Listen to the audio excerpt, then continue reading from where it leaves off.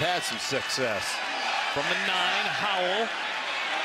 Couldn't get it to Thomas in space, and Cameron Thomas chases him, and Kyzir White bangs into the quarterback Howell, and the line judge from his backside throws a flag, and both teams throwing a fit. Three flags on the field after all of that. And we're only halfway through the first quarter. Quarterback Sam Howell took a shot. He's a big man, but that might have been a late hit from White. Well, not might have been. That is a late hit. He's out of bounds Oh, right here. Easy. Up high to the head. And that's one. I mean, that's just a flag. I don't care what league you're playing. You can be playing Pop Warner. That's a flag.